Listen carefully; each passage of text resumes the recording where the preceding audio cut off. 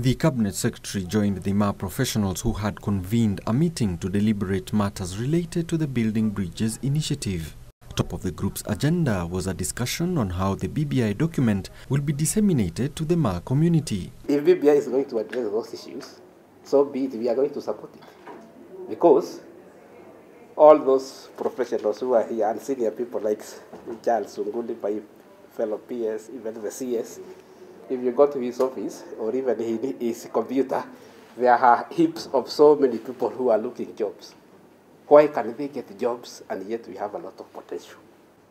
It is our responsibility and duty, both individually and collectively, to participate, to contribute to, to lead in the process BBI.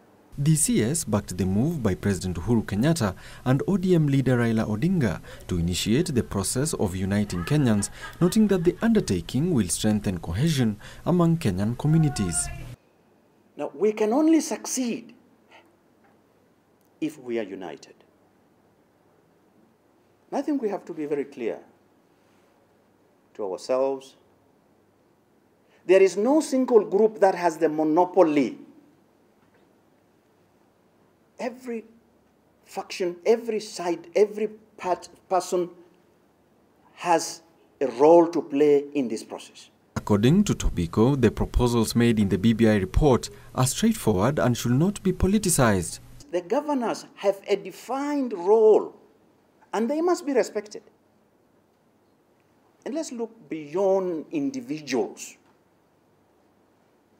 It doesn't matter who is the governor of Narok who this uh, governor of Samburu is or who uh, governor of Kajiado is. They happen to be, for now, at the point when this matter is being discussed, the governors, and there is nothing anyone can do about it. He noted that Kenyans should be engaged and sensitized about the BBI report in order for them to understand how matters affecting them have been addressed in the report.